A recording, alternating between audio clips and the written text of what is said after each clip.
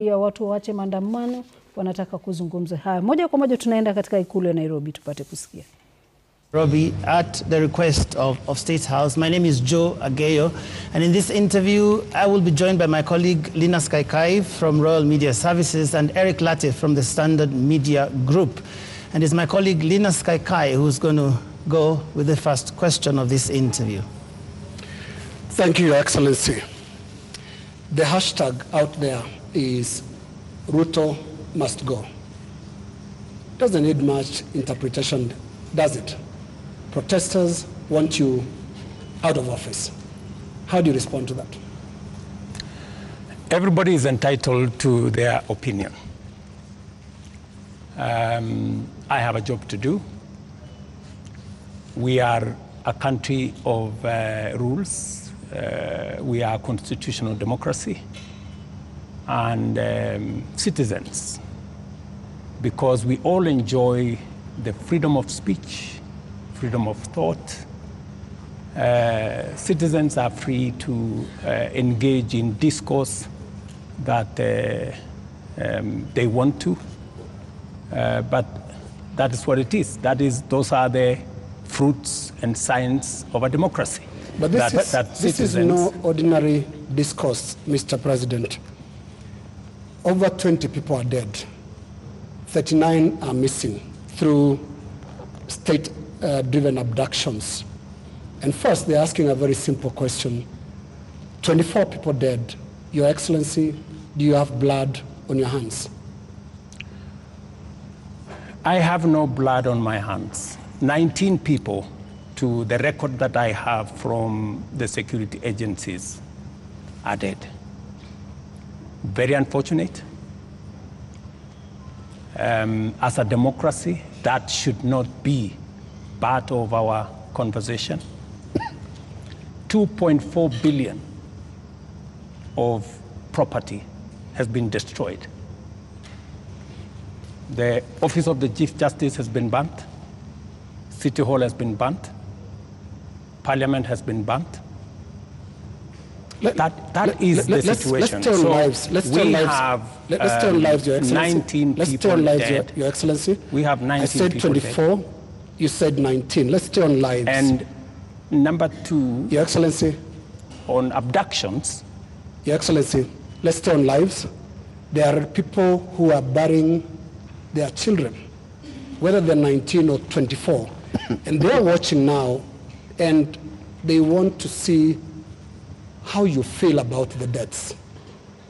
Give us your feelings, Your Excellency. let me tell And, you. and we could give examples, uh, Your Excellency. There is a 12 year old boy, Kennedy, Kennedy Onyango from Rongai, whose mother narrated how his boy was basically just going to get books for his schoolwork. There is Rex Masai, who was shot in the middle of the street in Nairobi. And these are real human beings. Don't you feel a sense of responsibility for what is going on in the country? Let me tell you the following. Any life that is lost is something that must bother anybody, beginning with myself. And it is the reason why I have told you that when I came into office, I said three things. Number one, I said there will be no extrajudicial killing in Kenya. That's number one. And I have made sure that there is no extrajudicial killing in Kenya. That's number one. Number two, when I came into office, I said I want an independent police service. And I did sign the necessary instruments so that the police does not need permission, does not need authority, and does not report to the office of the president. The, uh, the police operational, financial independence, I have made sure that the police don't have to ask me, don't ask to have, ask anybody. They operate independently. And number four, it is true that children got into situations that they were, they became victims of, uh, of, of the demonstrations. What started to all of us, and I have spoken about it, I have said the young people who have stepped forward to engage in the political discourse of their country in a peaceful manner, tribeless, are a welcome development in Kenya. That I said. But let me also say the following these great young people who have stepped forward to prosecute their agenda, the affairs of the country, I am certain that they did not ban parliament. Criminals and other agents who took advantage of a legitimate concern of Kenyans stepped in, went and banned the Chief Justice's office, went and banned uh, City Hall, went and banned Parliament, and destroyed property of innocent citizens. The parents, the parents, Mr. President, what So- are you telling them? These things have I am happened telling under every, your watch. I am telling under your every- watch. I am telling every parent. I have kids like they do. And I care when there are issues in town where criminals can take advantage of situations and create a situation where the police have to use rubber bullets, the police have to use live bullets in some cases, because that is what an independent police service has to do. And I am sure the police have a record and have an explanation for every incident that they were engaged in. here is the incident, Mr. President. Just- a moment. Here is the incident, Mr. President. This boy, 12-year-old, took eight bullets, eight bullets into the body of a eight year, uh, of a 12-year-old boy. What would you tell the mother of that boy? That boy is alive, right? No, it's not. Kennedy O- Onyango died. He's dead. So he's the one who died. Yes. So you're not talking about the, the person who was shot with rubber bullets, No. No. yeah? Shot with bullets eight times. Let me, let me tell you, Yeah. in Gong, this is the situation in Gong, right? In Gong, there was an incident where the police were overpowered by criminals. They took um, a firearm from the police. They used that firearm against people. And one policeman had to shoot this fellow who had hijacked a gun from a policeman so that not to endanger the lives of more citizens. It is among the three people. One of the criminals is among the three people who was shot by the police after they overpowered the police and took the bullet and, and took the gun from the police and used it against innocent citizens. I cannot confirm to you that this is not the man that shot the child, but investigations are going on and we will get to the bottom of it. Mr. President, I I am telling the mother of this young person that I, as president, will make sure that finally I will give her an explanation of what really happened and make sure that we bring this to a situation where, like her, uh, like myself who have children, she too can be, her child can be accounted for. Mr. President, the Kenya National Commission on Human Rights is the one that has accounted for 24 bodies lying in morgues. And those bodies, the records show that these people either died in hospital and while undergoing treatment for gunshot wounds, or they ended up in the morgue in the last two weeks with gunshot wounds. 24.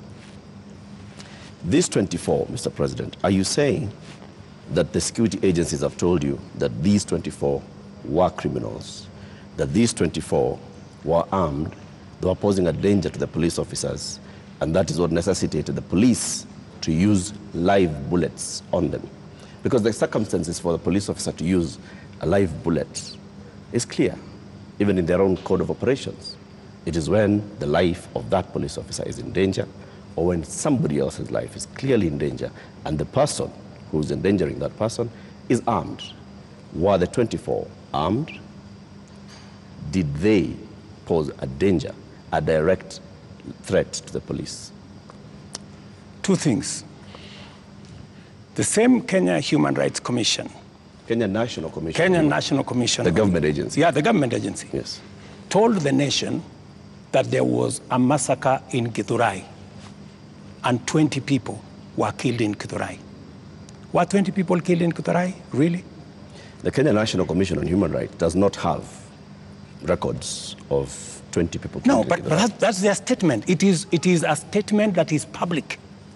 You know? So the same Kenya Human Rights, uh, Kenya Commission, uh, Human National Rights, National, Hum, uh, National Human Rights Commission told the country a blatant fake news falsehood that you- are there was saying this- a this massacre. 24 is um, let me, let me, you asked me a question. Allow me to answer. Yes.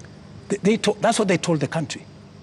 So, an organization that can tell the country without verifying that there was a massacre in Githurai. In fact, BBC, on that account, went to investigate in Githurai. And of course, you know, you have read, BBC has said there was no massacre in Githurai. Mr. President. There was one person who was shot by the police. Let me, let me, let me answer. you- So, an organization that is as reckless as to say there was a massacre when there was none, now is telling us there are 24, the police are saying 19. We will, we will find out where the numbers are. But that is the credibility of the organization Mis- Mis- that you are Mis- telling. Mr. President, that, But that may let- well let- be. let me- let me also- You may- My- my question, just on Mr. that issue, President, just so that Eric can follow up. The You people may- who died, Yeah, that's where I'm coming. were they a danger that's to the where- police? that's where I'm coming. Are they the criminals that you're talking about? Let me tell you two things. There will be an investigation on how these 19 Kenyans died. There will be a clarity, an explanation for each and every one of them. I have told you one situation where somebody accosted the police, took over the firearm, started to shoot at people, endangering the lives of many other Kenyans. He was shot by the police. There is a situation in parliament. How did the invaders in parliament? They invaded parliament and went straight for the armory at the mausoleum. They went straight at the armory at the sergeant at arms office. Those are the investigations that we will get into, and a proper explanation will be given to the country. Are Mr. weapons President, lost? What I am saying, Are the what- what I'm- weapons at the, at the armories and the mausoleum and inside parliament? That, are that, they that is why missing? that is why there will be an investigation of how these armories were attacked and why there how did these people know that there was an armory in parliament Mr. President, you may, you may not believe the Kenya National Commission on Human Rights, but surely you would believe your own deputy who has said there's been a return to extrajudicial killings and abductions, contrary to what you and him promised the people of Kenya. let me tell you i am the president and i speak for the government of kenya right? And so this is my this is what i'm telling you. I made three commitments that i will make sure the police is independent. And i did that on my first day in office. Number two i said there will be no extrajudicial killing in kenya. I have kept my, my, my promise. Number three i have told you that if there is any arrest by the police that does not amount to an abduction in my very honest Uh, opinion. let- Let's pause for a moment, uh, Mr. President, and I just want us to go to that video over there, which will play on air, and uh, let's pause and watch it together, Your Excellency. Let's watch this video. Sell them to the people of Kenya. There are enough intelligent people in Kenya to differentiate what is good from what is better and what is Let's some best. sound. Ni jambo mbaya sana kama tutatumia askari polisi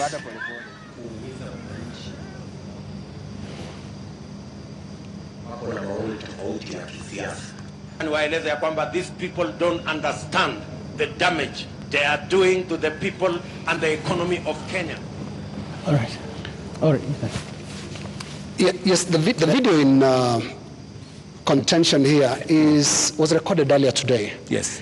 That of former MP Alfred Keter being abducted in broad daylight. Mr. President, before you even talk about the entire incident, the children were screaming, and a sound that we believe belongs to the wife was also heard, screaming in distress. How does that make you feel? Three things. I have told you, I made a deliberate decision to make sure that the police operate independently. That's number one. Number two, I have told you if the police summon Linus Kaikai and Linus Kaikai refuses to go to the police, are the police not entitled to come and look for you? When the police come to arrest you after they have summoned you and it- you didn't show up, is that an abduction? So let's have this as a confirmation that No, I'm just MP asking you- let's have this as a confirmation, Your Excellency, that Alfred Keter was summoned by police. He refused to The uh, police have respond to the issued a statement. I, I would suggest instead of uh, us having a back and forth, the police have released a statement. Can you check what the police the police have released? The statement. And you still ans- not answered my question. Which the was? wife and children screaming that way. I mean, How do you feel, Your, Your Excellency? I mean, my friend, every child, every mother feels the same when their parent is under attack. I mean, th- that is, it, that is what it is. But let me ask you what about the children? What about the children of those who have lost their lives because of the criminality of others? Don't they feel the same? So we, we just need to be a country of the rule of law. Impunity cuts both ways. Those who respect the law must be protected by the law. Those who do not respect the law must face the full force of the law. That, that's how it operates. That's how we will have a society.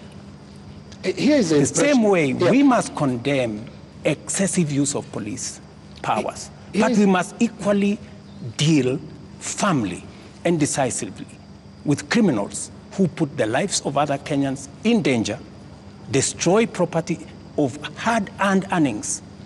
There are many people, Linus, in this, in this demonstration that have lost livelihoods, that today their children are crying.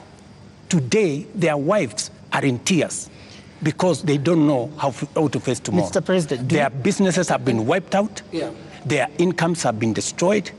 I have just told you 2.4 billion shillings worth I- of I hear you, business has been destroyed. You, and today, as I talk to you this evening, there are families who have tears. There are families who do not know how to face tomorrow. And, and, and I've asked you very specifically, President, how do you feel about those tears, especially I mean, it- those it's- who have been it's- killed it's horrible. by police bullets? It is horrible. It is horrible. When you find a situation where people are grieving, whether they are grieving because their parents have been arrested or they are grieving because their hard earned earnings of many years, monies there I have, I have on my phone. People who are saying, I borrowed money my whole loan has been wiped out. My whole barber shop has been destroyed. My whole hardware has been looted and burnt. And they are in tears. So I must equally work with the police to protect all these citizens. And, and it, and it cuts both ways, uh, Linus. It cuts both ways. Using the rule of law. Absolutely. Let me take you to just step by. Absolutely, on- the rule of the law. rule of law says. The rule of law requires the police to investigate a matter, to when they have sufficient evidence, present that to the ODPP. The Director of Public Prosecutions takes people who are culpable to court. That's the journey in the rule of law, Mr. President. Mm-hmm. In the case of 39 people who have been abducted, and the abduction here, we're using it deliberately because of the manner in which the people have been arrested, like we've seen in the case of Alfred Keter.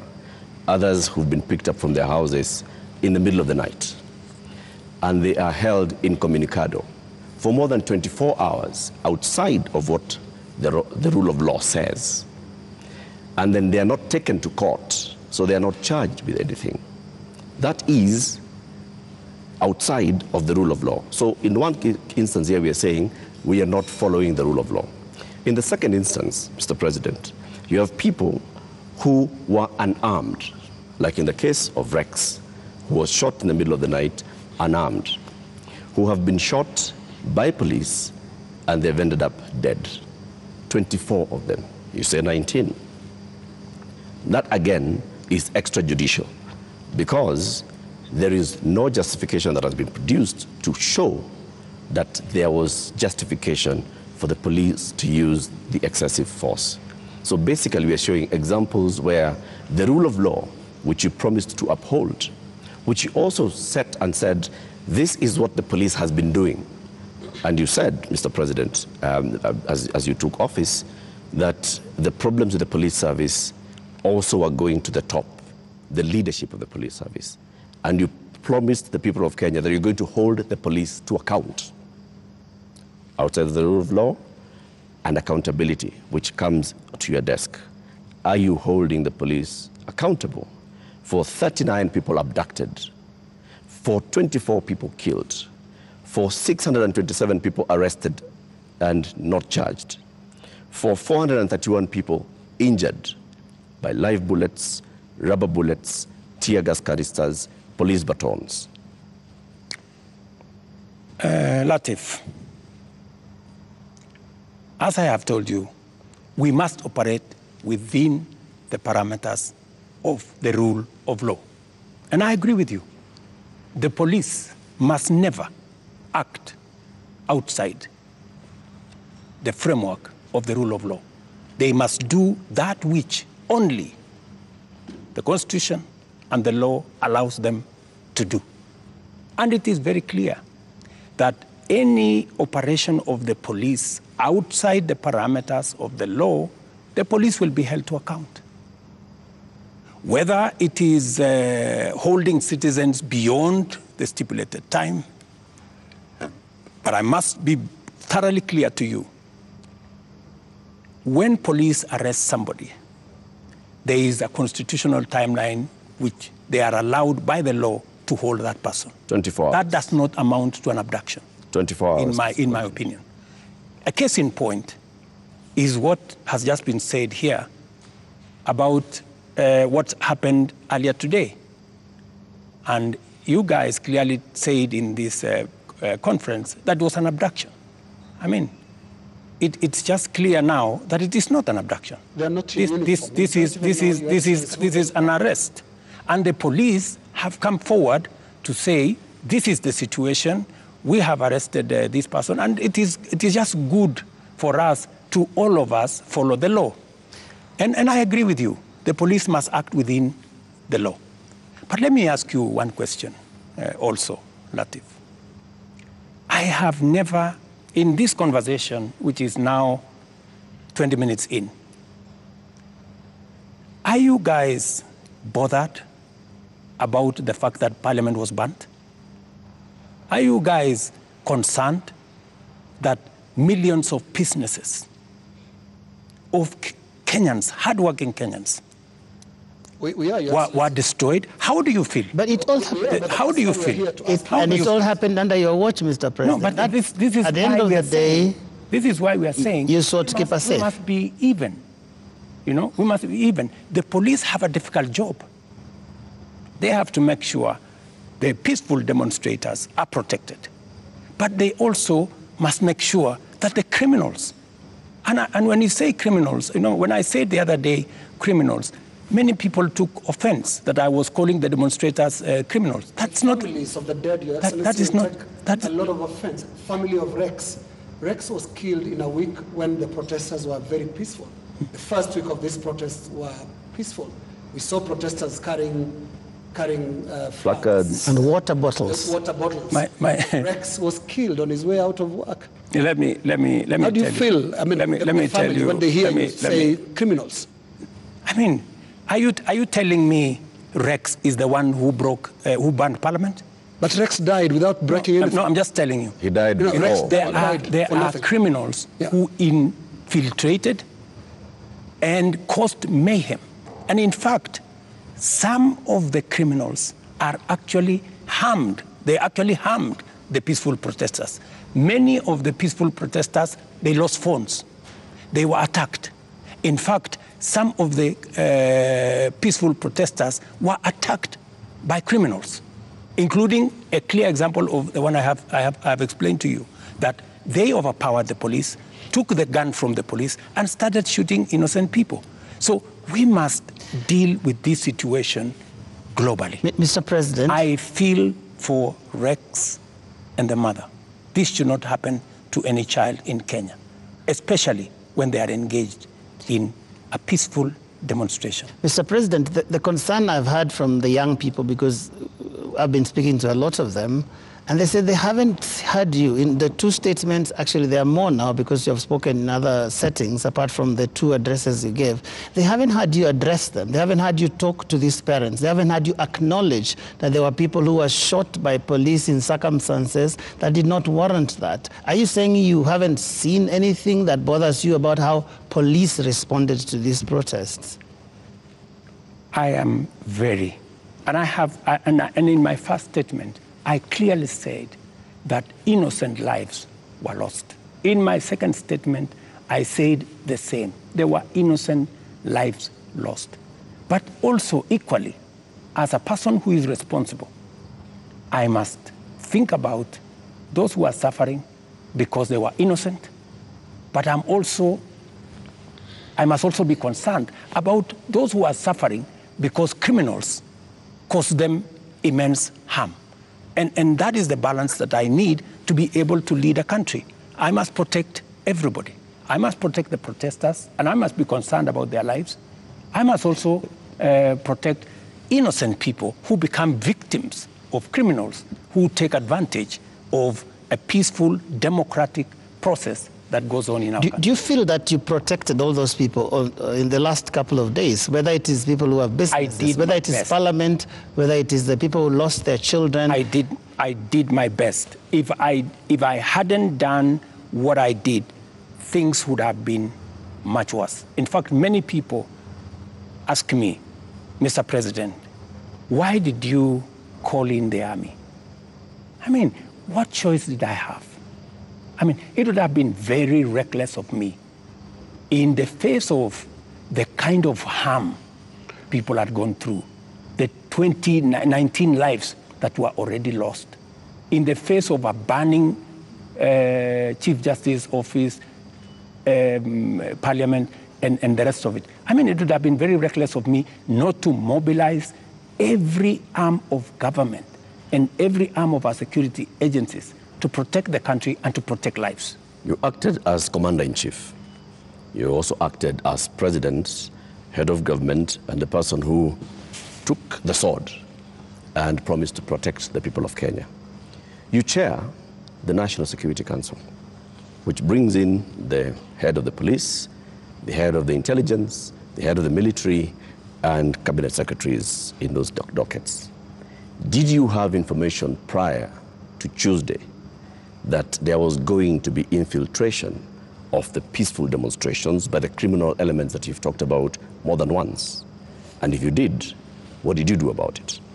We had information, and that is why we prepared in the manner in which we did. If we hadn't prepared in the manner in which we did, we would not be counting 19. We would be counting different numbers. Okay. And I am telling you that the level of mobilization by criminals was heavy. In fact, many of the peaceful protesters, many of the young people, very well meaning young people, left the town by 10, maybe 11, because they realized, and in fact, you could hear them in their, in their, in their, in their zelo, They were saying, guys, we are this, this is not our this is not our group. Let, let us go. Let us leave. You could hear them. It, it was in public domain that the peaceful demonstrators all of a sudden realized that the whole thing had metamorphosed Into into into uh, criminality. So there are And- criminal elements that basically hijacked. So Tuesday, Wednesday, Thursday, Friday, Saturday, it is Sunday. Mr. President, how many people are in custody on account of this? Those who you said they conducted treasonous activities, there were criminal elements. They, um, you will see them in court tomorrow. how many people are in custody?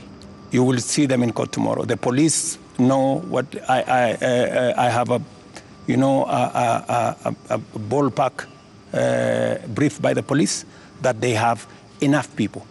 They have actually, because in Kenya nowadays, you cannot commit crime and get away with it. Those who attacked parliament are on CCTV. Those who attacked the judiciary are on CCTV. Those who attacked everywhere, those who destroyed people's shops are on CCTV. Many of them are on the run, but we will catch them.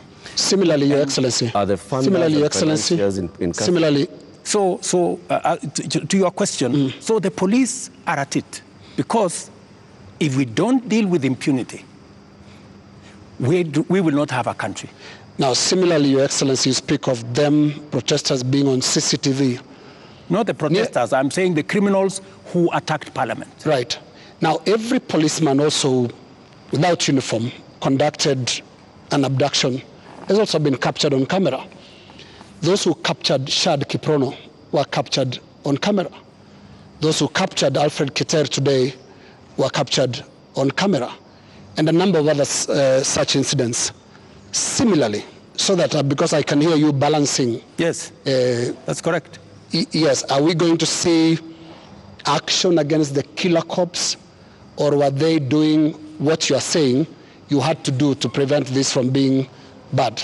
any killer cop who went beyond what is provided for in the law will action will be taken against them but to your question are you telling me Linus, that a police officer becomes only a police officer when they are in uniform. No. Police officers can identify themselves even when they are in civilian. So, and, and, and when a police officer comes to you and says, This is my ID, I am police officer, you are under arrest for the following reasons, that, that, that is legitimate. You, you cannot Your tell me that you know- because they were in civilian, then it, what they did was wrong. And you know I- I that's don't- what they do. And that, That's not what they did to Alfred Keter or Shad Kiprono. were you there? You have the, we have the CCTV footage. You, it's there. It's, I would, I would suggest, uh, Linus, that we be fair to the police as well. Mr. Mr. Mr. And I have given you my word. Any police officer who does anything beyond the provisions of the law know the consequences. Just as any citizen who also participates in actions that are outside the law, they also know the consequences. Uh, and it is our responsibility to make sure that security agencies act in accordance with the law. As as citizens, we act in accordance with the law so that we can have a law abiding, rules based, uh, rule of law based country. As things stand now, Mr. President, are you satisfied with how the police handled this whole matter? I think the police have done the best they could. If there are any excesses, we have mechanisms to make sure that those excesses are dealt with. Let's wrap it this way, Your Excellency, on that topic. You have absolutely no regrets about the abductions and no regrets about the killings. Those are your words.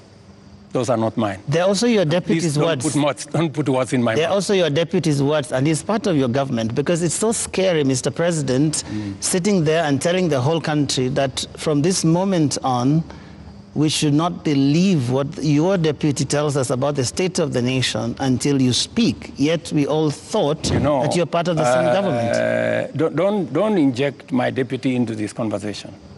I think it is not fair, since he's not here, to tell you in what context he said whatever he said. I think it is, it is not proper to discuss the deputy president here, and he's my deputy. Please let me deal. But have you asked him let that let you me had a press me deal conference? with the issues as they are now. I think uh, being personal and, and going that direction does not help. I, I wish this was personal, Mr. President, but it's a really serious national issue that right after you spoke, your deputy told the whole world that he was informing us that extrajudicial killings and abductions had returned to this government that he's part of. How surely can that be personal, Mr. President? I am, I am sure that uh, if you interview the deputy president, he will answer that appropriately. You haven't You asked him? It, you can take it from me that extrajudicial killing will not be part of an administration that I run. I can say that without fear Now, contradiction. uh, yes, in the interest of moving this conversation forward, Your Excellency, I want us to look into the last two extraordinary weeks that this country has had. Protests that you called tribeless and some of your uh, aides call leaderless. But protests that are led by young people who are unhappy with how you've run this country for the last uh, just under two years, two, two years now. But the question they have as you, they look at you and watch as you speak today, Your Excellency, do you get it? I get it. Let me tell you. Let me tell you, uh, my good uh, friend Linus. What we are facing today is not a product of two years. What we are facing today is a product of many years. We've had a problem, a youth bulge, a demographic challenge as a nation, which we have ignored for very long. For the first time, I have decided that I am going to be deliberate, I am going to be intentional on tackling the challenge of young people and unemployment in Kenya.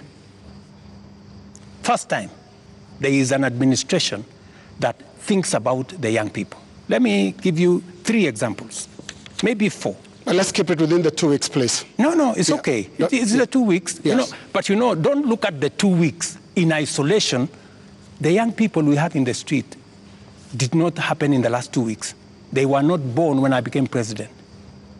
They were not jobless when I became. They were not. They, they did not become jobless when I became president. But I want us These, these are young people who, over the years, we have thousand. We have close to four and a half million young people who are out of school, out of college, with degrees, certificates, diplomas, without jobs. And that is why I have done four things. Number one, when I pushed the housing program, it was not about the houses, it was about the jobs. Today, as I talk to you, Linus, we have 160,000 young people working in different parts of Kenya under our housing program. In Mukuru, here in Nairobi, and I challenge you, Linus, to go there tomorrow. There are close to 4,000 young people working who were jobless. Number two, I have a whole program on digital jobs. I was in, I was in Ruiru Now, Your with the MP for, with, just allow me. Allow me to interrupt no, you. No, allow Because me. There, are, there are risks on both ends of this interview. No, I'm- I'm just- I'm- you told me- you I want told us- me I want us, about Excellency, the young people. talk about the last two weeks. The young people are saying, you don't get it. You don't understand what they're talking about. Now, what is the trigger here? They're saying there was this conversation about the finance bill that your government, until the other day, could not listen to anybody. It's not about the housing project, it's about listening. They are saying yours is not a listening presidency, and yours is not a listening government. How, how best can I listen to the young people of Kenya if I am not addressing their issues? And that is why I, want to tell you, Linus, these young people, what is their biggest issue? They have talents, they have gone to school, they have no jobs. That is the problem. And I am addressing those, those issues. Housing is one of them. Digital jobs is another. I was in Ruiru with Simon Kingara, the MP for Ruiru, launching a uh, an ICT hub that will hire, is actually hiring already four, 5,000 young people. Our whole plan, including what was in the finance bill, was to increase CDF by 10 billion shillings to roll out ICT hubs in every ward in the Republic of Kenya. So that They- we can hire young people, train them, put them on digital jobs. I have a third program Then the on export of labor. Mr. President. I have Then a fourth the program on manufacturing Yes. to be able to create more opportunities for the young people of our country. And, and we want to inform you, they're no longer just talking about things that can be done to them as a demographic. They are looking at the big picture. Finance bill brought them out. And when did they come in? They came in after all public participation forums were not listened to. Kenya Association of Manufacturers spoke to the parliamentary committee, same thing, and said this is a bad bill. In, uh, Association of Insurance spoke to the, the, the parliamentary team, this is a bad bill. We had a big conversation on national television, this is a bad bill. You did not listen. You had a meeting here with your UDA MPs and at some point told them to pass it as it is. And until the last week, that was the first Tuesday when the protests were there, when now you offered, um, you offered to uh, some amendments.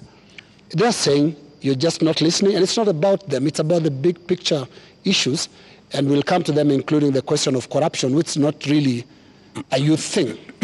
Indeed, Mr. And just to add on to, just you to add on to that, you Mr. President, have been more Mr. President, just, I just want to come in. in your analysis. I just want to add on to that, Mr. because I want to add uh, on to because let me let me just finish it. It's the same question. It's the Okay. same question. Mr. President, if you went into all the tweet, the X spaces where the youth are speaking, if you looked at the demonstrations and what they were saying, the placards they are carrying, none of them has talked about we don't have jobs. None of them have talked about the housing jobs are not enough for us. None of them have talked anything about what you have mentioned. So it's not that they are not seeing about the jobs. It is beyond that, Mr. President. And respectfully, I want to put it to you that you're not hearing what they're saying. In fact, there's Let me- only heard after the protests, after all those things you described, that's the time that you Let came me and said, let me I let have me, listened. let me let me tell you the following. The rejection of the finance bill, and this goes to what uh, Linus has said, that um, we didn't hear anything. Let me tell you, the process of a finance bill. In fact, you know, many people believe in Kenya that the finance bill is an invention of William Ruto. It is not an invention of William Ruto. The finance bill is an instrument that has been with us ever since independence. Only that we have made it much more transparent. Only that we have brought out more to the public. And that is why there is greater interrogation of what government is doing, especially after the new constitution that made public participation not a, a, a, a sterile provision of the Constitution, but public participation to be an integral part of lawmaking, an integral part of managing the country. Let me tell you, when we took the bill, when, when, it, when we uh, formulated the bill, it had 346 billion of new revenue. When MPs went out to the public, the public said, We don't think thi- this is good. We don't think this is good. It was reduced by 140 something billion shillings. It remained just 200 billion. Doesn't that amount to listening? No, it doesn't. That, that the public said, reduce this by No, it doesn't, no. Mr. President. And that's why Okay. I said reject it. Just it wait. tells you just wait. No, we are talking about listening. Yeah. Let- just relax. We're talking about listening, okay? So the public said, reduce this by 146. We sat down, we cut down the areas, we reduced it to uh, 200. What went into the space was the people who wanted to mislead the public to say, oh, you see, in fact, uh, everything you have been told is still there. This was not removed. These people are not listening. These people are not listening. And let me tell you, uh, my good friend uh, Latiff. We have dropped the finance bill. Yeah? What does that mean? It means we have gone back almost two years. It means that this year we are going to borrow a trillion shillings to be able to run our government. That's what it means. I have been working very hard to pull Kenya out of a debt trap. Mr. Let, President. let, no, let me just allow me because you know we need to contextualize this finance bill. It is easy, uh, Joe. It is easy for us as a country to say, let us reject the finance bill. That's fine. And I have graciously said we will we will drop the finance bill, but it has huge consequences. It means we will not confirm the JSS teachers, 46,000 of them. It means we cannot support our farmers with 2 billion shillings for us to make sure that farmers get a fair return of 50 shillings per kilogram, uh, per, per kilo of their milk. It means we cannot sort out the coffee debts. It means we cannot support the cherry fund. It means we cannot sort out the um, uh, debts of farmers in, in, uh, in, in, in Mumias. It also means that we will continue to import potatoes from Europe when we have potatoes in his village. You just told me you, Kimana. In Kimana. we have potatoes in Mr. Nyandarua. President. We have, we have onions all over the place. That may well be. I think the problem has been these are people who are saying they haven't been listened to. You only listen because you said on that night, on that Wednesday night, that is the moment you said that you had realized, Mr. President, that Kenyans did not want anything to do with that bill. And one would wonder, how can that be, Mr. President? And, and you have had all these presentations that have been- made. Did it have to take demonstrations and sadly loss of lives for you to come to a point where you'd realize what your people, the people that voted for you, are saying? That, I think, is what the young people are asking. Let me tell you, uh, Joe. Members of parliament are representatives of the people, elected. They are not fools and they are not mad. And I want to say, one day, Kenya will know that the MPs who voted yes are the true heroes of Kenya. Those are the people who saw the opportunity for us to unchain our country from debt trap and take our country to the future. Let me tell you, Joe, and I want to say this to the people of Kenya that my plan was to make sure that in the next three years, maximum four years, we have a balanced budget where Kenya is not the country where we are today. Let me uh, tell you, gentlemen, and I want to tell the people of Kenya the following. We are in a very difficult financial position. This is something that the people of Kenya must understand. And that is why I am happy that we have a crisis. This crisis will help us be candid and speak to each, to each other properly and contextualize where we are.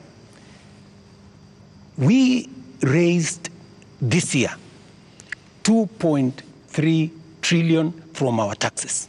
Of that 2.3 trillion, 1.1 trillion went to debt financing. 1 trillion went to salaries. What did we do? We had to go and borrow to pay the counties. We had to go and borrow to fund our education. We had to go and borrow to fund. Now, the, the funding gap we have done with the finance bill going down is that instead of borrowing 600 billion, we are going to borrow 600 billion plus 346 billion, that is close to a trillion. And let me tell you, uh, my good friends, and I want us to be honest with ourselves. This is not how a country will get to a status where we are proud of our nation. This is not how we are going to, this is not how we are going to grow. And that is why, and that is why, Linus, this situation, this crisis is a very important inflection point that we can sit together, assess. Let us agree. And I have, I have no problem. Let us agree. Yeah. Do we continue borrowing? Uh, and let me give you the statistics. When in 2013, Linus, just allow me one minute, please, with a lot of respect. Okay. In 2013, the debt stock of Kenya was 1.8 trillion. For 10 years, that increased five times to 11 trillion, 10 point something trillion. We built a lot of roads. We connected a lot of electricity. We did many things in 10 years. But we were doing it on debt. Today, we don't have the luxury to borrow because we have reached the limit. And today, let me finish. Today, all the money we borrowed from 2013 is maturing. That is why the biggest challenge that we have as a nation is that we are spending 1.1 trillion every year of taxes we collect from ordinary Kenyans to pay debt and not the whole debt, That's interest, interest. alone. Yeah. Interest You know? principle, principle comes to 1.8 trillion this year. So, my good friends, and yet you want to tell me, William Ruto, don't collect domestic taxes. Go borrow more money. No, Mr. that's, President. that's not what they're saying, uh, That- uh, President. And What, just- what, that's what, the is, what is the alternative? yeah, yeah, and I just wanted to come to one. No, what, thing. what is the alternative? Just, just help me there. Yeah. Because there are, there are only two things you can do. Either you raise money from taxes or you borrow, period. The- the- the- Could There is no magic There- here. There are Kenyans, Your Excellency, right now who do not listen to all that. Yes. They are not interested in that. That's okay, but, but that's the reality. Eh, then- but- but I need if you are not, in, if, I you, need- if you do not want to listen Ha- to hang on, Your Excellency. Hang on, hang on, Your Excellency, because I need you to address a very important issue here. And that is one of a trust deficit. There are Kenyans who watch you, Your Excellency, and I don't know whether you are aware that they don't trust what you say. They don't believe what you say. Are you aware, Your Excellency, for example, that a lot of Kenyans increasingly don't associate the truth with you? that is your assessment because you have never associated the truth with me from the beginning. No, no, there's, there's quite a number of No, Kenyans. No, I mean, that Well, is to be uh, fair to that you, is- that is We asked, we asked people before we came here Yes. this That's assessment. Yeah. And many of those that responded to me directly Hmm. and to even our platforms on KTN News, on Spice FM, on NTV, on Citizen, and we were asking them, what question should we ask the president this evening? And the one thing that many of them were saying is, when will he stop lying?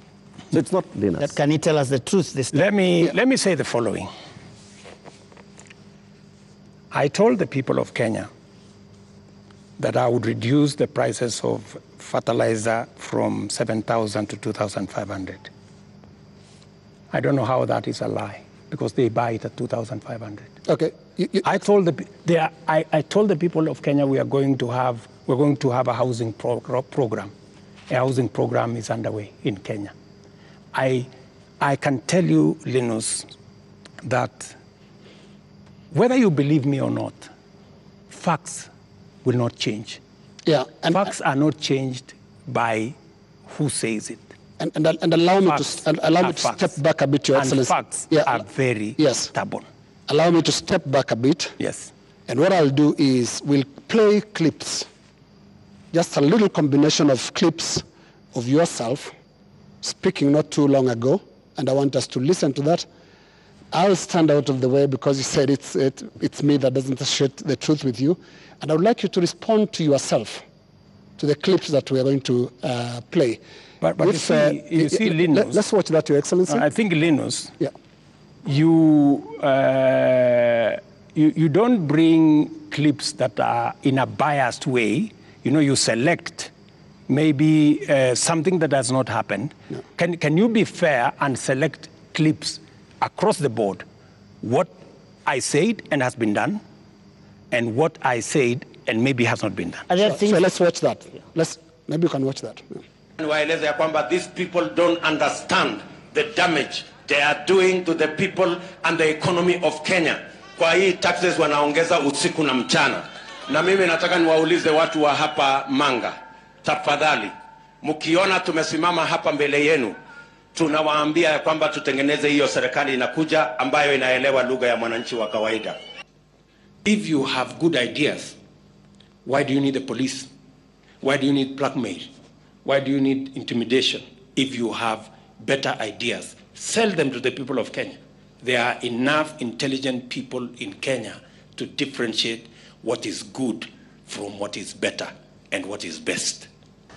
Ni jambo mbaya sana kama tutatumia askari polisi kuumiza wananchi wasio na hatia eti kwa sababu wako na maoni tofauti ya kisiasa. Niwaeleze ya kwamba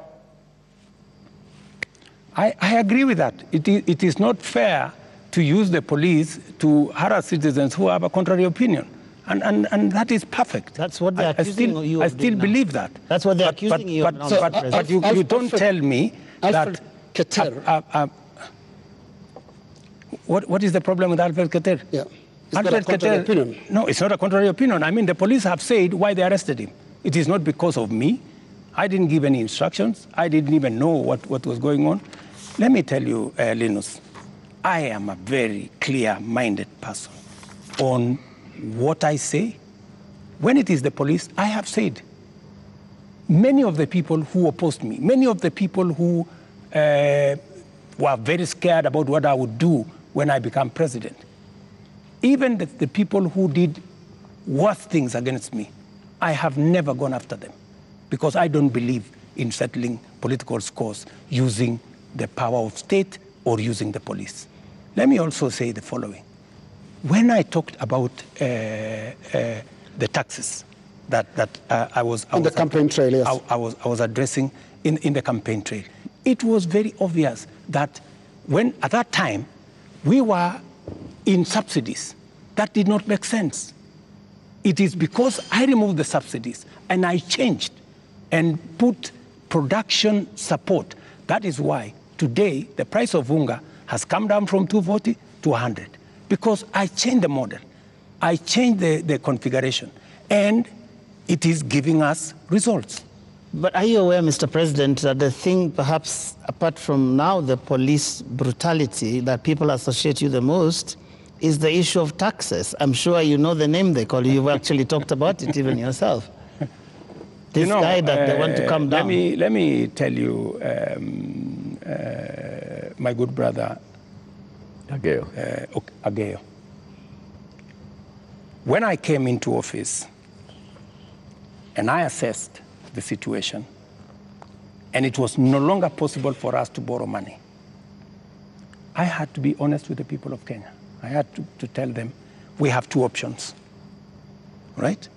And even as we imposed taxes, we explained, we made sure that there was adequate elaborate public participation on what it is that we were trying uh, to achieve.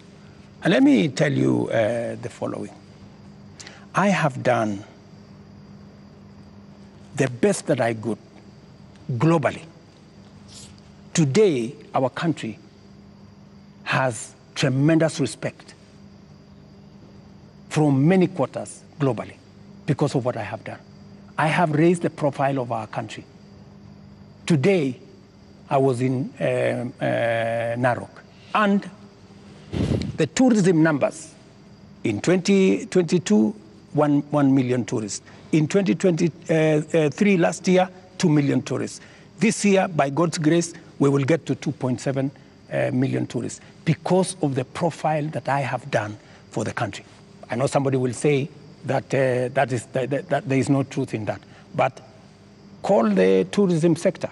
They will tell you themselves that all hotels in Kenya today are operating 80% upwards, which is a new phenomenon in Kenya. I will also tell you that the international community have developed enormous confidence in Kenya. I see people who are saying, why did William Ruto go to China? Why did William Ruto go to Europe? Why did William Ruto go to America? Let me just tell you uh, the following. When I went to China, we got money to be able to, uh, put, uh, to put equipment in 70 of our technical training colleges. Today, the contract has been signed, the equipment is being manufactured. When I went to China, we got money to build Bosto Dam in, that has been waiting, that will serve the counties of uh, Bomet and Kericho. When I went to China, we got money to build, uh, we got 30 billion shillings to build roads in uh, Nyandarua, in Kirinyaga, in uh, eight other constituencies in Kenya.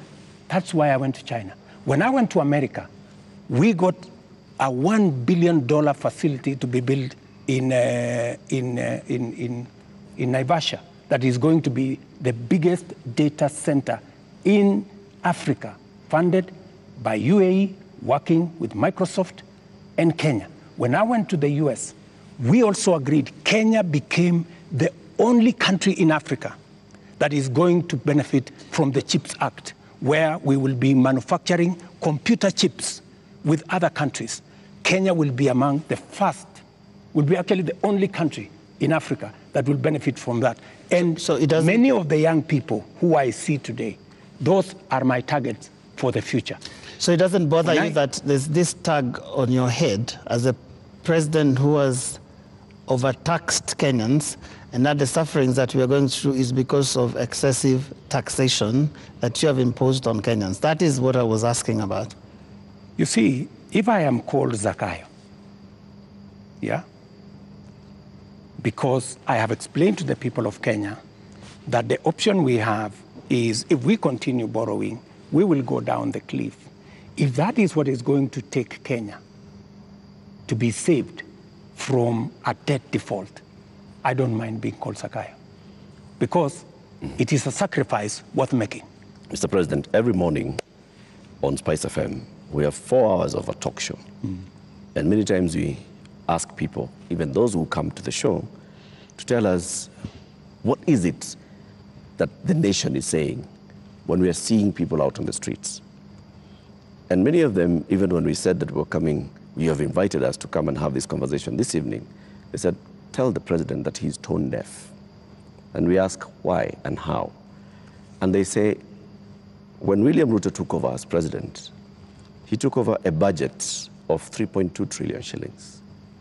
He went to parliament and he said, Honorable Speakers, I believe that this budget is too high. We should cut it by 300 billion shillings. So you believed barely one and a half years ago that you can run the country with 2.9 billion shillings, trillion shillings. Barely a few months, you went to parliament and requested to spend 3.6 trillion shillings. This year, you went to Parliament and initially requested to spend 4.2 trillion shillings. And what do they see in return? They see extravagance in government. They see a government that is pushing gang ho to employ new people called CASs. They see a government that is purchasing new motor vehicles and trips that are extravagant. They see opulence with those that are close to the president appearing in public carrying wads of cash. They see condescending attitude from those who serve in this government when they're asked, why are you spending? And they respond the way they respond. Your advisors speaking the same. And so they see a government where the president is telling people, we are going to live within our means, we are all going to tighten our belts, we have austerity. They end up with their children not going to school because for months JS teachers are on strike. They end up with, right now, 91 days where clinical officers have not been to work. 91 days, Mr. President. We ended up with intern doctors going on strike for weeks because the government says it has no money. We end up with people going to the hospitals and there's no medicine. We end up with people who are being told that we don't have money to pay salaries or we don't have money to pay salaries and also uh, having development. Yet, they see all this extravagance and opulence from those in power. You are tone deaf, Mr. President, that's what they say. Well, I guess that's why we must have a conversation. That's why we must have a conversation. And I'm very happy for us to have this conversation so that we can put the facts on the table And we can all of us make a decision. But let me tell you the following I've listened to you, and um, let me also tell you that today, the universities, which were almost closed, they had debts of 60 billion shillings. I have enhanced their budget by 40 billion shillings, the universities, because education to me is very important. It is the greatest equalizer. Today, the universities can confirm to you, and I was sitting here with the vice chancellors, that I made the right decision because we are funding the universities better. Let me also tell you, I took the decision to hire additional teachers 56,000. It has never happened in the history of Kenya. Why? Because education is the greatest equalizer. Many parents in rural, in rural Kenya take their children to schools that have no teacher. And we are disadvantaging them. The children of the poor get the worst form of education. They have no chance. I decided, because I said it is bottom up, I decided that I'm going to put more money in making sure the child of every Kenyan has an opportunity to be their best by giving them the correct education.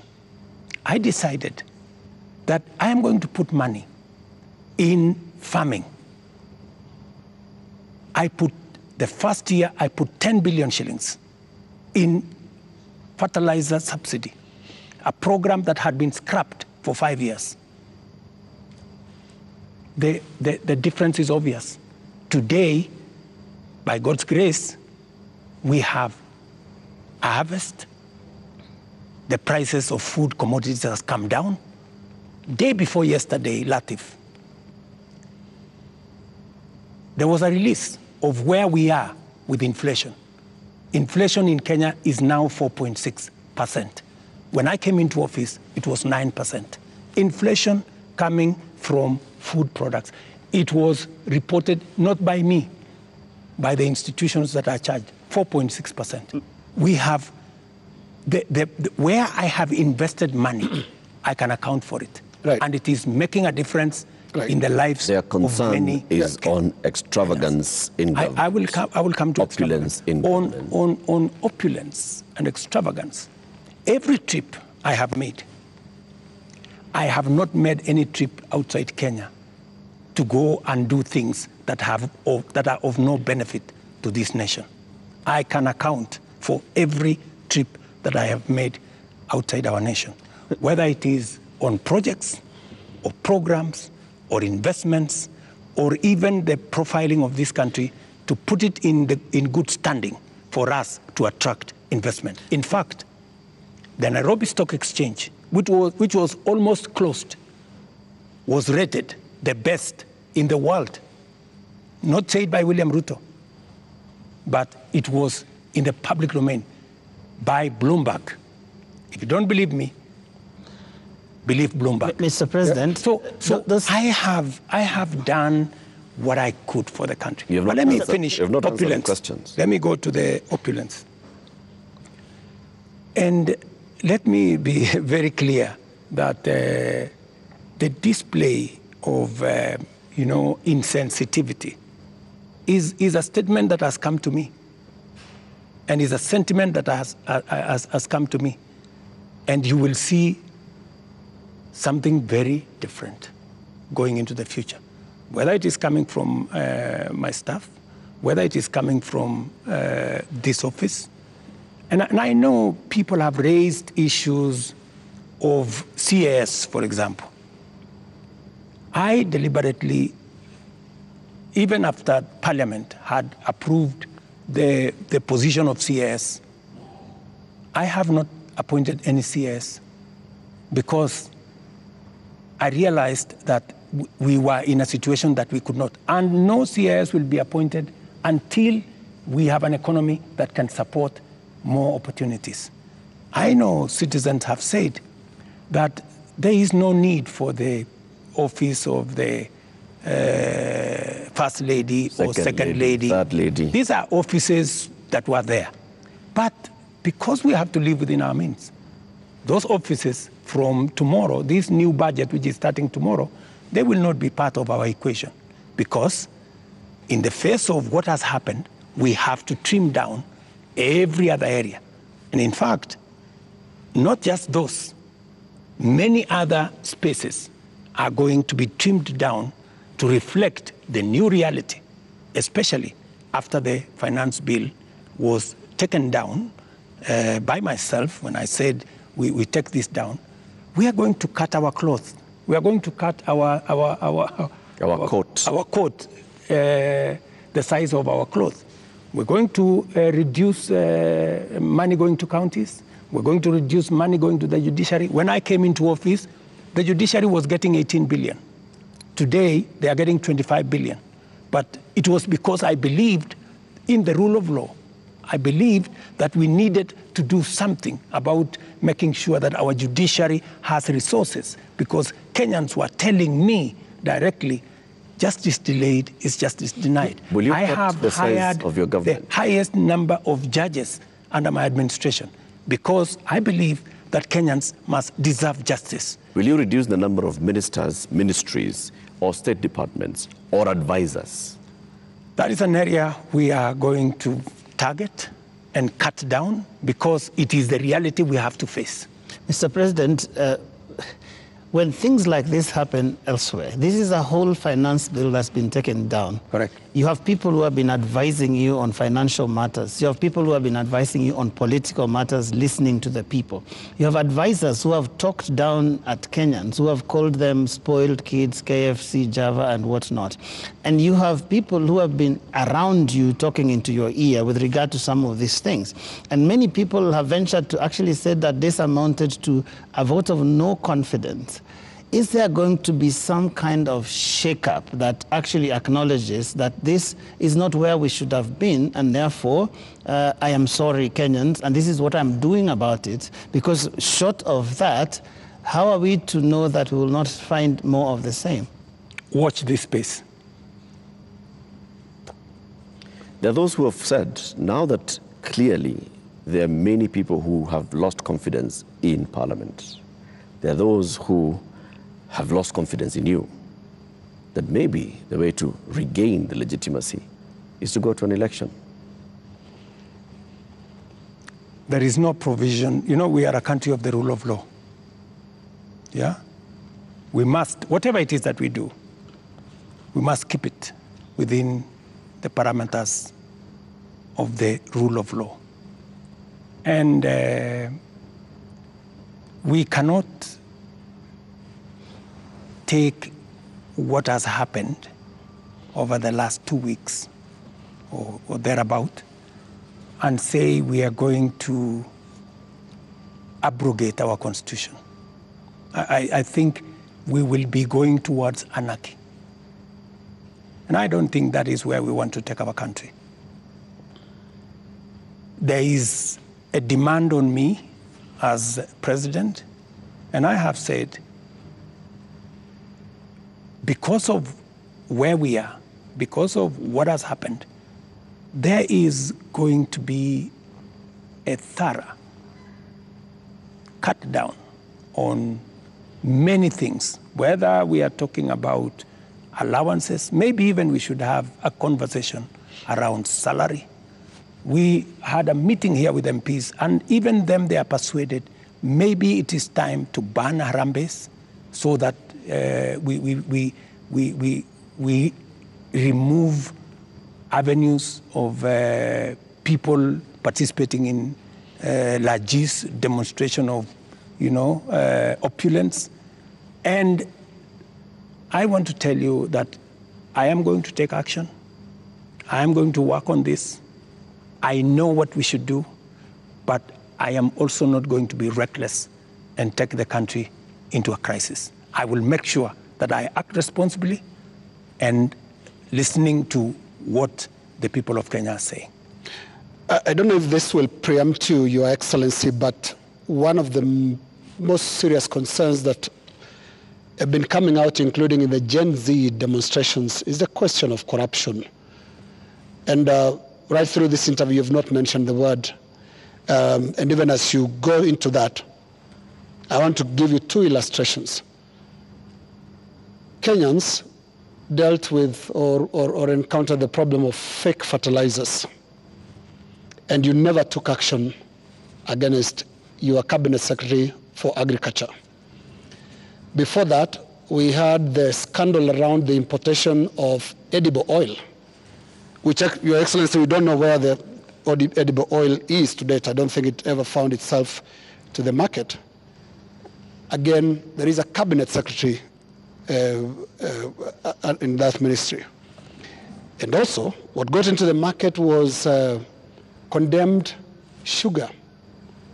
And when we look at all the information around these three cases, these are people close to you. They're cabinet secretaries. And so you are unable to take action against them. So why should you be trusted now to act? Because there are those who read and say you are really a hostage of those who campaigned for you to become president. They get away with anything. Three things, Linus. Um, we hadn't reached the question of corruption.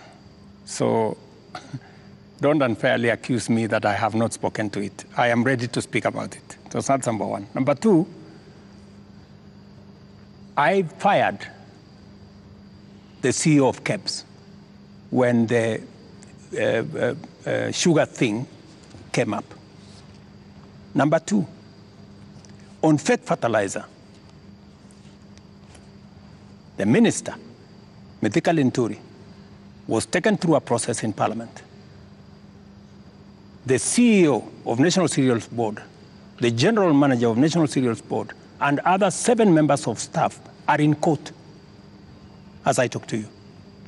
The people who signed the contract, they are in court. You spare big fish and roast the small fish. No, uh, let, me, let me just finish. Yeah. Because I I need, uh, Linus, you know, I, I, am, I am a fair person and I am a believer in the rule of law. Even though I may not like you, but I must respect that there is a due process. The moment, you know, uh, we will have a minister who is charged in court, meaning there is evidence that they have participated in crime. Believe you me, I will take the action that is necessary. But if somebody is taken through a process and that process comes out without uh, an, in, uh, an indictment, I mean, surely we must, we must give somebody the benefit of doubt until it is proven. But- and the fact that Yeah. the CEO, general manager, and all the people that were there whose, who actually evidence was found have been arraigned in court. Isn't that a step in the right direction? What a political Let responsibility. let me- what a political let me- responsibility. Let me, let me, let me, let me, let me finish. And then number three, the other one you asked me was edible oil. The people who are involved in edible oil, I fired them, and they are in court. We have a new management in Kenya National uh, Trading Corporation. In fact, we've just hired a new management for the Kenya National Trading Corporation. So th- those are actions that I have taken. Can I And draw for your parallel? information, Vo- void of what Joe is calling political responsibility. Yeah. I mean, I mean but, but you see, else in the but, ministry but, can but, be. but you see, Yes. but you see, uh, gentlemen, if there is no evidence against a, a minister, surely, do you, do you want me to fire somebody if there is no evidence? You know, there was a time uh, Uhuru Kenyatta, as I served him as his deputy, removed six cabinet secretaries. But eventually, they were found that they were innocent, and we had to appoint them to be ambassadors. You know, so, so some of these, you know, actions must be tampered with process Yeah. of law, you know, due process. So- Unless we follow due process, uh, gentlemen, we will, we, will, we, will, we will end up being something else. Allow me Up to to give- this, ju- just a moment, just a, give the po- President a moment, Eric, in, in a moment. Yeah. Because up to this point, Your Excellency, uh, if I don't want us to lose the context, the last two weeks have been extraordinary. We've never seen anything like this. You have KDF uh, um, troops um, in the streets of Nairobi. Up to this point, uh, Your Excellency, and including on the question that I've just asked you of accountability within your government, do you think you are addressing the grievances that have made thousands of Kenyans across the country in places that were unimaginable to get out to the streets to say Ruto must go. Do you think up to this point they feel you've addressed their grievances? Mm, I am not in their space, so uh, I, I am doing what I believe I should be doing. I have taken the responsibility to withdraw the uh, finance bill with all the attendant consequences. That I have done. I know what it means, and I know where it takes the country, and it is not a simple decision for me to make. And for your information, the finance bill was going to take Kenya big steps forward. But uh, it's a sacrifice I've had to make because of the political reality that we are in. But it will mean counties will have to take maybe 30 billion shillings Yeah. off their budget. Yeah. It means we have to reduce CDF by 10, uh, maybe 10 billion shillings. It means we have to rethink about what to do with JSS teachers. Yeah. It means we have to put on the freezer. We wanted to hire another 20,000 teachers because there are kids who do not have, uh, who, do not, who, do, who do not have teachers. It means we have to work on our UHC program. We, we thought we would upgrade, uh, for example, Linda Mama. Yeah. You know, we thought we would upgrade Linda Mama. Here is something, Your Excellency. Uh, we, but it means we have to hold that, and it means many things. Just told them what else they want to hear. You, you, you are speaking outward. But looking at the grievances, they are also asking questions inward uh, from you, Your, uh, uh, Your Excellency. And uh, what I can hear from these grievances that have been expressed quite loudly, you said you are not in their spaces. Uh, we sometimes get into the spaces to listen to what they are saying. And all they're saying is you cannot be, for the next three years, the president that you've been for the last two. So what is that that you're going to change about? That, that's why. William that, that, Ruto? that's why uh, Linus. Yes. That's why Linus. That's why we are here. Of course, it's not going to be business as usual, with the kind of reality we are faced with now. It has to be different. Do, do you regret anything at all? What you should have done better? What your people would have done better? Well, maybe there are things we should have done better. We should have communicated better. I think the biggest problem we have, even with the finance bill, because the finance bill has great things for Kenya. The finance bill says we shouldn't be importing potatoes from Europe. The finance bill says we shouldn't be importing onions or eggs from Europe. The finance bill says we should be growing our own industries. We should be manufacturing diapers in Kenya. We have 10 companies doing that. We should be manufacturing all those things in Kenya. We should be expanding our manufacturing capacity. That is what finance bill was talking to. But I am sure we will recover that when we, when, when we have explained. Yeah. The biggest challenge that I regret is that we didn't communicate better. Maybe we, we failed in explaining to Kenyans what the finance bill was all about.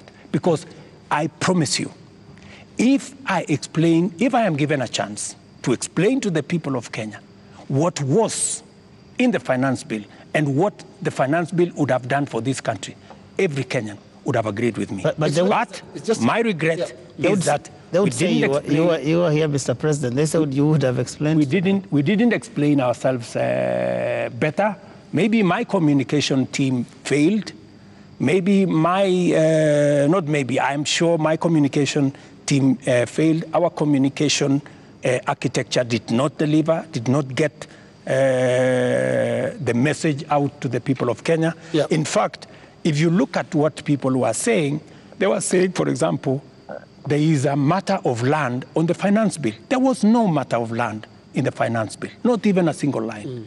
And it is on that basis that people rejected the finance bill and many other things that were not in the finance bill. Now, communication is about words, uh, uh, Mr. President. Let's go to the deeds.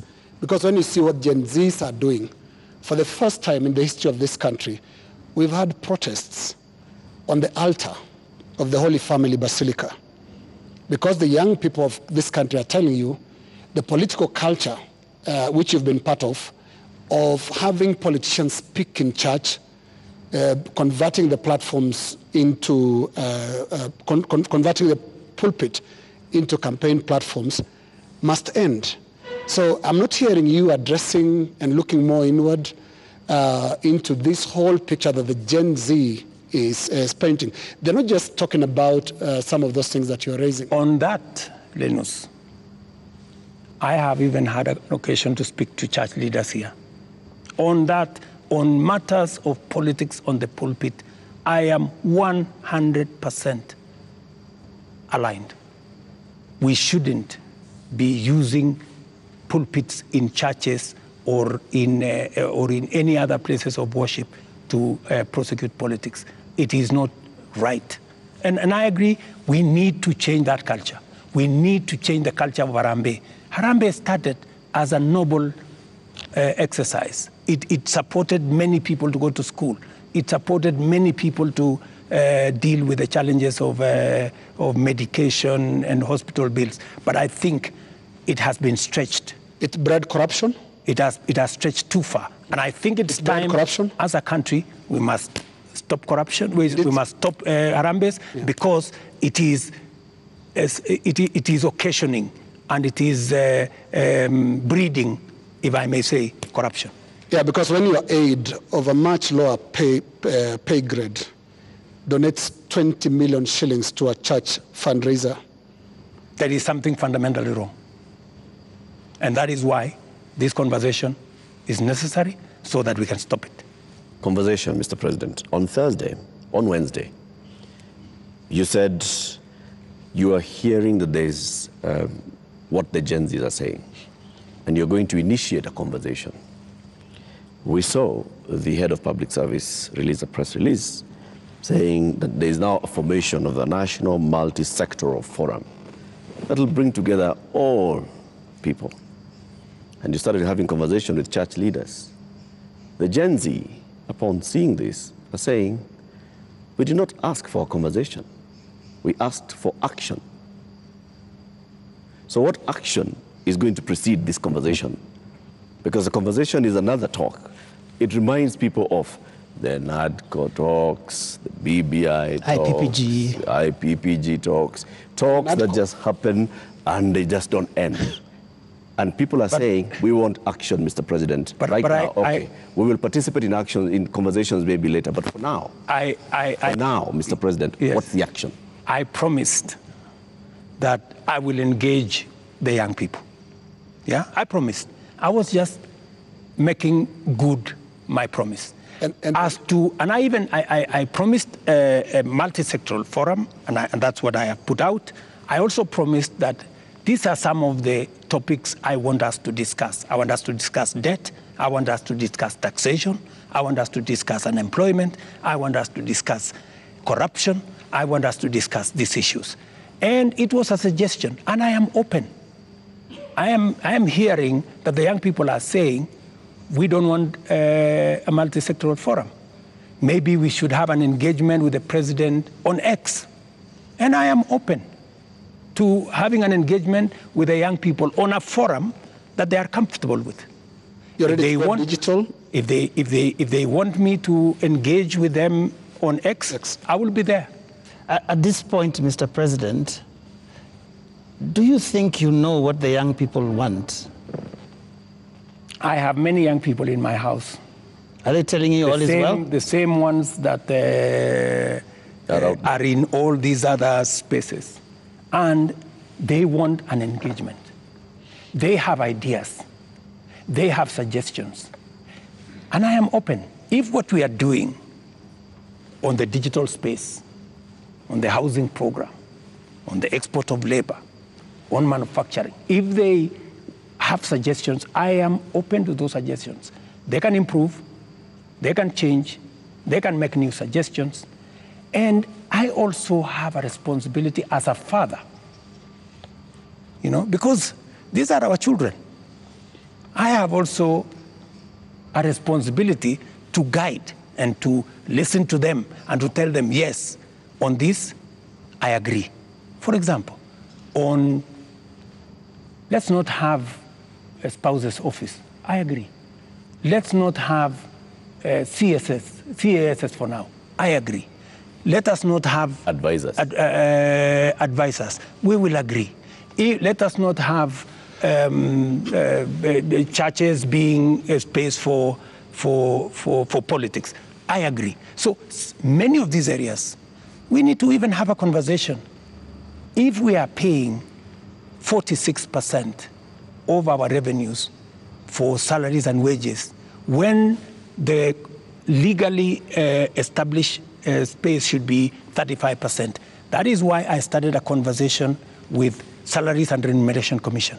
We must deal with the issue of wages and salaries so that we bring them down to 35% and leave more money for our development. That is a conversation I am very happy about. When? Mr. President, it's been two weeks. It's been two weeks of you saying I- every day we are going to we, have a conversation. we just, we just you know what they say on I- social media? I, I They said, call you the, the president of tutafanya, mm-hmm. tutatenga, tutafanya, tutarudi. No, it is but- but- always but- futuristic. but I'm- but I'm here. You're saying, But I'm here. We are going to have a conversation. I said within a week. I gave a timeline within a week.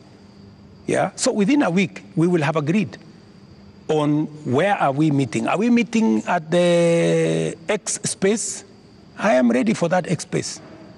Are we, do we, are we agreeing on this multi-sectoral? Uh, uh, I am, I'm, I'm, I'm waiting to see the suggestions that Kenyans have. I don't want to prescribe any suggestion, but when I give out a suggestion, I expect feedback. I expect people to say, maybe this is okay, maybe this is not okay, and then we agree on a way to Mr. President, an- any of them analyzing what you have actually said tonight on the issue of your advisors, your cabinet, what you're going to do, what Kenyans like to call heads that are going to roll as a result of this national shame, because that is what many people have called it. You have said, watch this space. And here there are all these other things that uh, young people are asking you about. What is that concrete thing that you're telling them tonight that I have heard you? These are the things I've heard you say since all these things started, and this is what I have done. Because you seem to have withdrawn or declined to sign this finance bill rather grudgingly, but not in good faith, having understood what people were saying. You're regretting this thing. You're saying, you guys, mutaona, mmekataa lakini mutaona. That is what, what we're hearing. Let me tell you that I will not lie to the country that putting down the finance bill is going to be easy. That, that's, that, that I'll, be, I'll, I'll, I'll not be, I'll, I'll not be uh, a leader. I have to be brutally honest. And those consequences, it will start with me to cut down the budget in my office, to remove uh, what we call austerity, to implement an austerity program that will cut down on unnecessary staff, unnecessary offices, or uh, offices that we can, we can take down. I am ready to even engage the young people and for them to, because they, they want an engagement. I, I, do, I too want an engagement. For, for us to agree so, what do we do with debt? What do we do with the following? What do we do with the following? They will tell me, uh, do this, fire so and so, fire so and so, do this. And I will tell them what is possible and what I think we could, we could do it differently. Or are you telling me that uh, I should just listen and implement without making a contribution to the conversation? I thought we are having a conversation. I'm, I'm just telling you what they are saying. I'm not saying anything else. I'm just telling you what I'm hearing because Yes. you did say you are not in their spaces, but I am in their spaces. And, and in two weeks, Your Excellency, by now you'd have known uh, what you should do. And uh, I, I mean, th- th- there are basics. Which two weeks? Two weeks of the riots and two weeks of the protests. It's been two weeks. It started, yeah, it started the other Monday. So let me ask you, Yes. uh, Linus. Um, the protests, uh, I, I, I finally decided that um, because we didn't communicate sufficiently to the people of Kenya the import of the finance bill, and there was so much built around it, including a lot of fake things, you know, that were not in the finance bill. Many things that were not in the finance bill were used to fight the, the finance bill. And you know, at some point, many people did not even care what was in the finance bill. Do not care. I, I think, you know, at some point, you know, as leaders, we, we must we must stop somewhere and say we have a country to run. I mean, we, we cannot be reckless.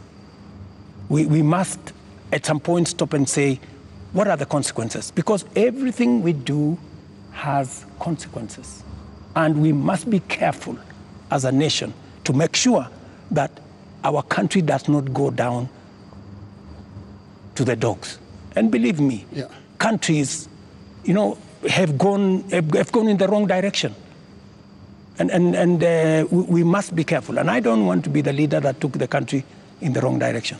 We must be measured, we must be careful, we must listen to the young people, we must listen to other views and be able to make a, a, a, a- carefully well thought out plan for the country out of where we are.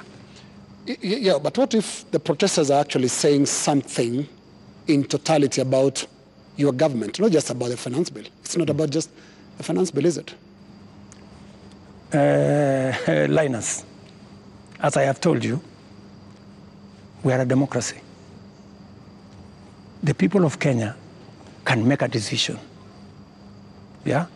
And, and I am perfectly, you know, uh, alive to the fact that when the people of Kenya finally, the same way they decided to elect me, when they make another decision, we will comply as the people of Kenya.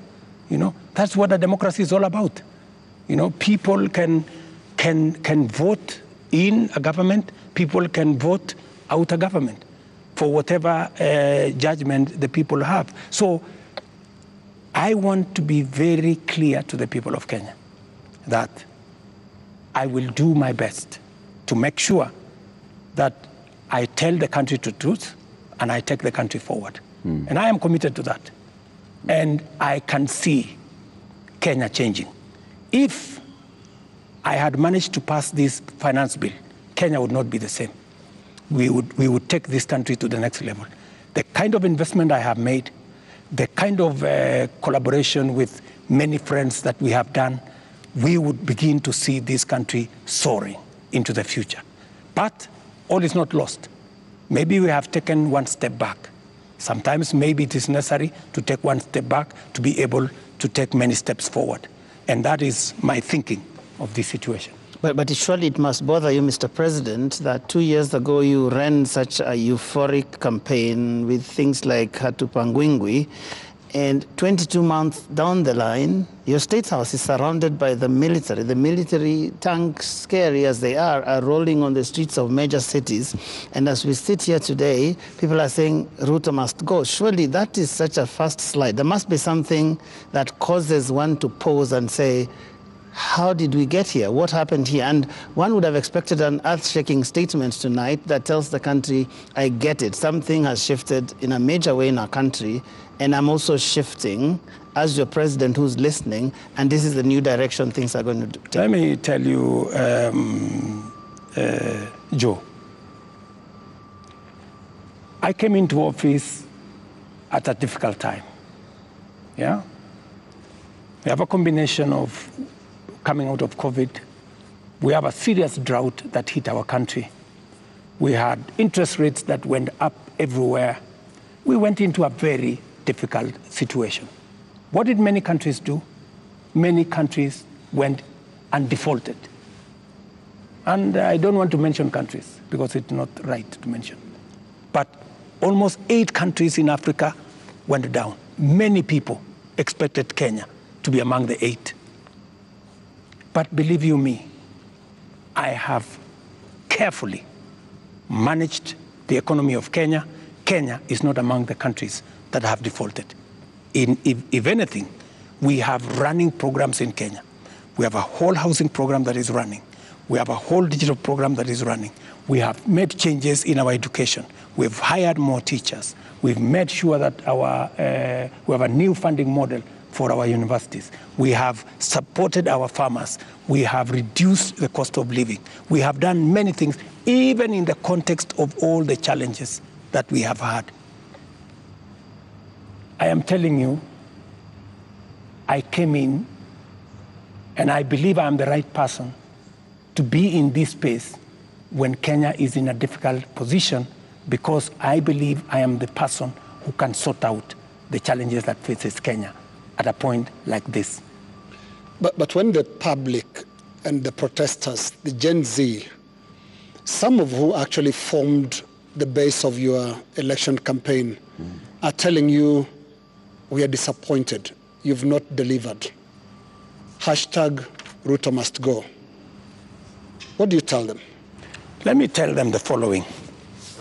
Good friends, the young people of our nation, my sons and daughters who supported me to win the election. I hear you. In fact, I saw, I think it was on your headline, a gentleman from my village who was saying, the president has let us down. Many children in this village are not getting jobs locally. That is why they are going abroad. Little did he know, my good friend from my village, that the children, the 500 of his colleagues around our village, are actually part of my plan on export of labor. They have actually, I intentionally supported them to leave the country because we got them jobs outside Kenya. So I am telling the young people of our nation to be patient. Our housing program is rolling. We will be hiring more architects, we will be hiring more engineers, we will be hiring more professionals to support our housing program. By in the next two years, we will have 300, maybe uh, 1,000 people working in that space. Be patient. We are sorting out the challenges that are facing our digital space. We are rolling out our digital space. Mm. Young guys, by the end of next year, God willing, we will have a digital hub in every ward in Kenya because we have already started that process. Every TVET in Kenya today has an ICT hub with young people monetizing their talent. I want to tell them we are full speed into manufacturing. That is why we're saying we're no longer importing clinker, we're no longer importing steel, we're no longer importing clinker, we are no longer importing uh, furniture. We are going to stop importing eggs, we're going to stop importing uh, onions and all this because we want to promote our local manufacturing mm. to be able to create jobs for them. We are no longer going to be importing diapers or sanitary parts from other countries. They are going to be manufactured here. Mr. President. I have worked with the industries to make sure that we create opportunities for these young people. We- we are- are going to work with them to deal with the challenge of corruption. We're We're- going we're to going to- work with them to cut down on government like this. I am going to make sure that we have a lean government that responds to the reality of where we are as a country. That is what I am telling my good uh, young The people. young people. There's another group of young people. Please speak to them directly. Yes. The young doctors who are in university graduating this year, Yes. who are going to look for internship Correct. the next year. The young JS teachers hmm. who were on strike a couple of weeks ago, who are expecting to be absorbed into full permanent and pensionable contracts Correct. this year. The young clinical officers also who are graduating and they expect to go on internship. The other clinical officers who were hired on contract during COVID and other programs that are just contracts and contracts are coming to an end. I am- all these. I am telling the JSS teachers, I had factored in 18 billion shillings in this year's finance bill to be able to transfer them to permanent and pensionable. Because in my phone, so many of them have asked me, Mr. President, we came in, we had an agreement that we are going to be interns for two years, we will move to permanent and pensionable. Although I don't have the finance bill, I want to tell them, give me a bit of time, let me figure this out, how we are going to do it without the finance bill. We had also put 3 billion shillings for the doctors so that we can be able to sort them out, especially the intern doctors and those who we intended to hire to, uh, under our UHC program. I had put 10 billion shillings on the UHC program under the finance bill. That is now not in the equation. I have to figure out. Let them just give me a little, a little, a little time. I'm going to figure it out again because I know and I feel, and I made a commitment to them that we will do this. So even in the absence of the finance bill, and even as we cut down on expenditure on many other areas, it is still my commitment that we will see what to do with them so that the job they are doing in teaching our children, in treating our people, do not go to waste. Mr. Mr. President, we, we, we're almost winding down this, but have you noticed that those young people, they actually have worked out the things that they believe you can take out and still be able to do the important things? Because you seem to have this elaborate plan, and I'm wondering where their views will fit in, because you seem to have uh, this all worked out, but they probably don't want all those things. That is They- why they have figured out. That is why, Yeah. you know, part of what I told you, Joe, is communicating, you know. And I hope this time, time round I find a medium where I can engage, you know. And I am ready to go to this X place to engage with them. And I want to tell them, this is my plan, okay? Tell me how I can make this better. Tell me this is not good enough, you know? Change this. Because I have seen some of the demands they have made. They have said that um don't hire CASs. And I agree with them. They have said remove the office of the first lady, the second, the spouse of the, uh, the second lady, and all that. And I have agreed with them. They have said a couple of things that we already are in agreement. They have, of course, said some of the things, abolish the office of uh, uh, women rep. I've seen they have also said we should reduce the salaries of MPs to 200,000 or something. Some of those things are things that are not in my power. Those are the things that we need to do a whole of society, a whole of nation approach, so that if we are bringing down salaries from 1.1 trillion to 700 billion, that is something I am willing and I am ready to start with my own salary, going down to salaries of others, so that we can all live within our means. Your Excellency, we're now going to our final questions. And uh, my final question will uh, be about the protests and the deployment of KDF, uh, which you did um, a few days ago. Now, the Gen Z, millennials, and the online um, Kenyans that are this, organizing these protests are promising to be back on the streets on, on Tuesday. What should we expect on Tuesday when protesters, peaceful as they've, some of them have been, turn up on the streets of Nairobi? Do we expect them to be chased away by the Kenya Defense Forces? First, the Kenya Defense Forces will not be on the street. They only come as a last resort. If the demonstrations will be peaceful, I promise you, the police will be there to protect the demonstrators. But the police will also be there to make sure that the criminals, the fellows who come to burn offices, the fellows who come to loot property, will also be dealt with. That is my commitment. We must all operate within the law, and uh, that is what it is. My final question is on the elephant in the room, the elephant in our budget, public debt. Candidate William Ruto responded to a question during the debate, and he said he's going to commission an audit of the public debt.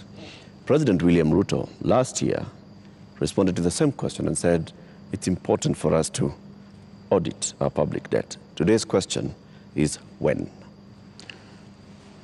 Public debt is actually a public document where we are as a country.